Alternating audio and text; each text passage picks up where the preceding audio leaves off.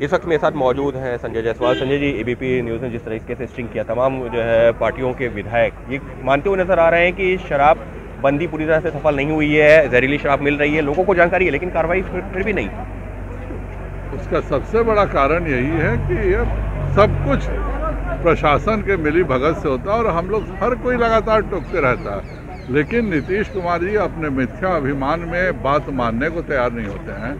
और आज जब आपके एबीपी न्यूज़ में यह खुलासा हुआ कि माननीय उप मुख्यमंत्री जी स्वयं पीते हैं तो सबसे पहले तो सभी विधायक और सांसदों का कंसेंट साइन होना चाहिए कि कभी भी रात में उनकी चेकिंग हो सकती है। और किसी भी एक दिन विधायक सांसदों की भी जाँच होनी चाहिए।